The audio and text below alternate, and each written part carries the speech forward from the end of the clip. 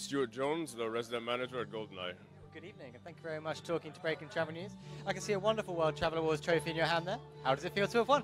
It's, it's incredible, um, especially considering that we were nominated with such impressive um, properties across the Caribbean. It's, it's quite an honor. You've got a long and successful relationship with the World Travel Awards. Does it help you welcome more guests to the hotel? Um, I think it does. The, the World Travel Awards has been gaining popularity over the years, um, has become more and more recognized, and uh, awards like this can only help us. Congratulations. Thank you very much for talking to us. Thank you. Thank you.